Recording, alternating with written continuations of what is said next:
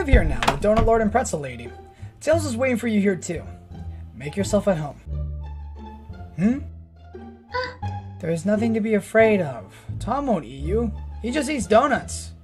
Hello, my name is Amy Rose. Nice to meet you. Maddie, Sonic just brought home his girlfriend and she is pink and adorable. No way! Where's my camera? Why? No, I just saved her.